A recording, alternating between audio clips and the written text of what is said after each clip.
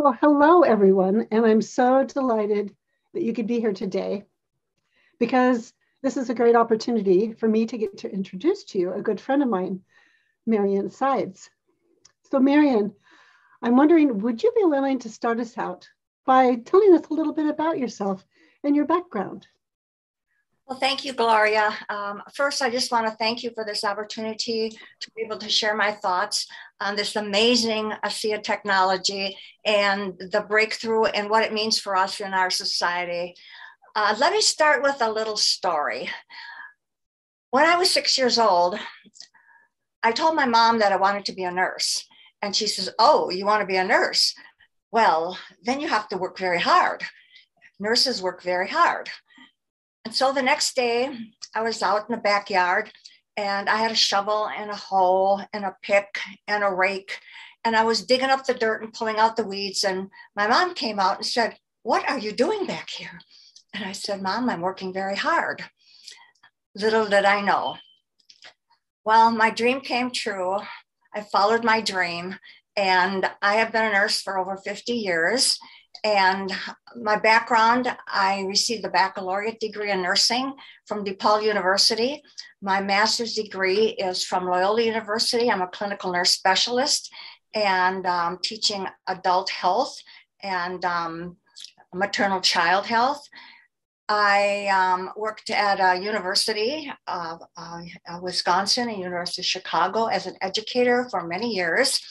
And um, I am also a retired colonel, United States Air Force. Mm. And um, during um, my careers, uh, all three careers, uh, I would say that the uh, skill sets I cultivated are perfectly aligned with ASEA. So this is where I pledge my allegiance from here on in. I just want to share a little bit about that clinical experience that I had. Um, I was a troop commander in Operation Desert Storm, and following that operation, I was sent over to Operation Provide Comfort, and I flew totally about 2,000 hours, not just in that operation, but in my entire career in C 130 aircraft, air medical evacuation, transporting patients in peacetime and war. And this particular operation um, was right across the um, border from Iraq and into Turkey and Diyarbakir, Turkey. And we had flights 24 7. Some of the patients that I transported were critical burns um, uh, from fuel truck explosions and um, little children, eight and 10 years old, whose legs were blown off by stepping on landmines. American soldiers in combat who had killed and they were suffering from post-traumatic st- stress and i helped them work through this very difficult time. And it goes on and on. So we were 24-7 flying and uh, ground care of these patients. So that probably was one of my most difficult challenges over the years. Oh yeah so, I think it would be yeah, so I, I guess um, that uh, that is you know a little synopsis of my of my clinical. Um, so yeah, that- thank you, thank you for sharing um, more about your background, and I just really want to honor the the courage and the strength and resiliency that it's taken for you to stay present with all those different situations and to support all those people. So when we think about these upcoming, this upcoming webinar series um, that we're going to be having here, I'm wondering if you could share a little bit around what the purpose of them will be, as well as the goals or um, what it is that we're hoping to accomplish with it. Absolutely, Gloria. Great questions. Well, first, I want to say uh, I, I, would like to share uh, the enthusiasm I have about this opportunity. Uh, I am I am so passionate about um, the the redox technology and what it brings to us in terms of helping people uh, having hope for their future when maybe some of the other traditional means were uh, at the end of the ropes and there was no longer hope for them. So I am I'm so passionate and enthusiastic about this.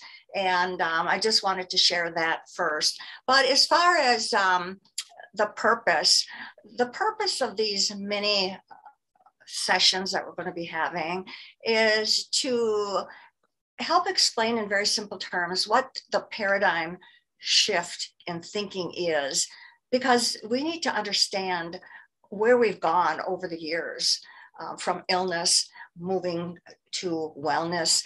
And the paradigm shift is truly a quantum leap in our thinking because whoever thought that we would be able to drink molecules and that it would empower our body to heal itself. I mean, that is something that's foreign to our thinking. And that is what the shift is. And that's what causes disbelief sometimes in people, or, you know, they say, well, nothing like that can work. So the best way, I think, to really uh, make that shift and, and truly believe is to understand. And we as associates are educators. The, uh, educators, we inform people we help them become aware. And that's what we do. And when people are informed and educated and, and, are aware, they're more likely to believe that this is something that can work because you do have to believe. And so, um, as we go through uh, these many sessions, one of the things that I want to accomplish is to explain the physiology of how our body works. It doesn't work differently than it ever worked but we never knew, even those who are educated and who work in the field don't know necessarily how the body works. Uh, we never had to really know that kind of depth. And I don't want us to have to know depth. I want to present the physiology and how our body works. What is energy? You know, what does redox mean? What's a molecule? And just something very basic that really enlightens us and illuminates our thinking to say, well, I, I know that, I understand that. And we don't have to have a lot of depth. We don't need to be doctors. Uh, anyone can do this. And so to present this simply, I think is really important. Mm.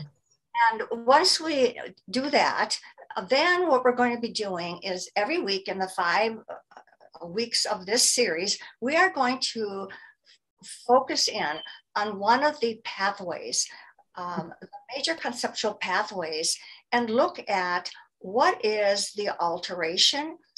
One, very first one we're going to do is inflammation. And can anybody define inflammation? It's it's very difficult when you get down to it. Say, well, you know, I I don't know. It's I don't know. And we need to know what it is, and then we need to know what does the body look like and how does it behave when there is one of these pathway um, altered conditions. And then what can redox do to enable and to empower the body to heal itself? Because that's the process. And we will spend, you know, five weeks doing this.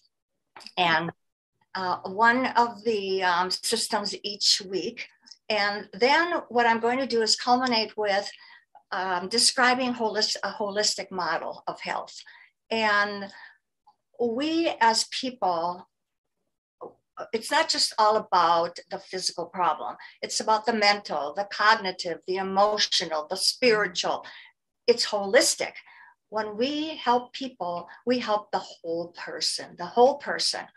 And that's the beauty of what we're able to do here as we impose the redox signaling molecules upon our bodies, we have to create an environment of holistic, our holistic self.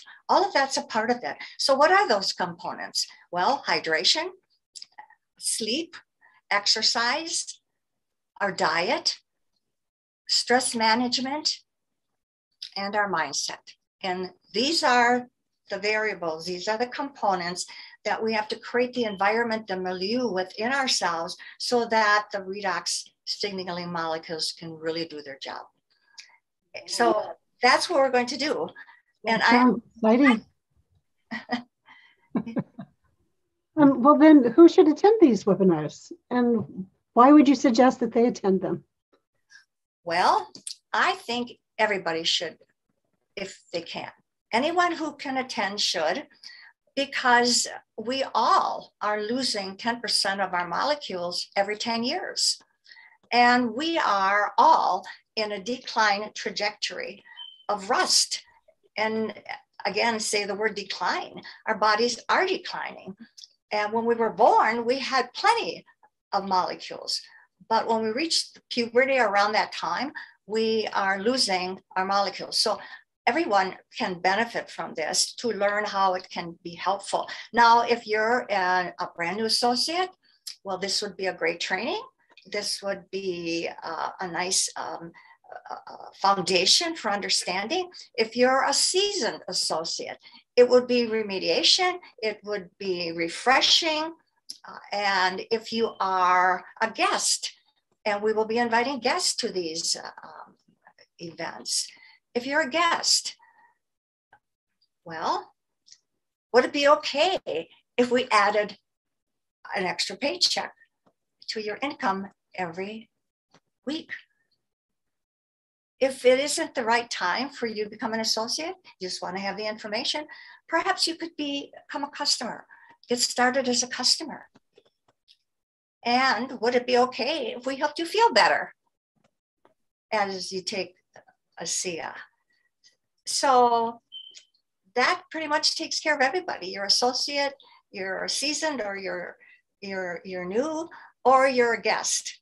And um, I'm looking forward to meeting everyone who's able to participate. And we will have a question and answer uh, session uh, after the presentations. Wonderful.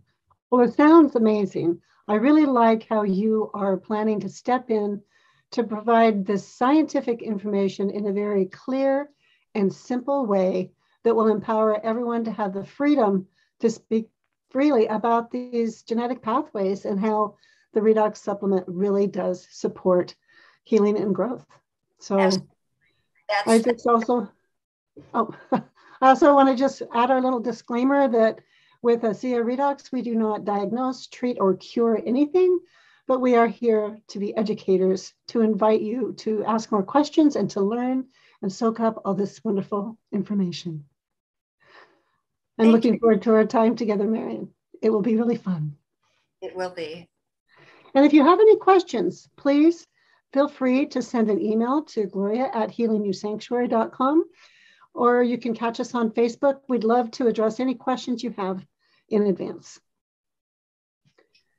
Thank you. Thank you.